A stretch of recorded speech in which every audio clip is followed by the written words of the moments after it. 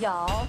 Hi, I'm R.H. Snow, author of the Prometheus Award nominated post-apocalyptic sci-fi western saga Watcher the Damned and its associated tabletop role-playing game System and Star. And I'm here today to tell you Happy Easter to all my peeps. I love you. He is risen. And just like in the story, when you meet God, you'll know it.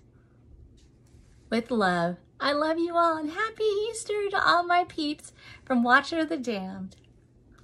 Mmm, that's good. Bye-bye.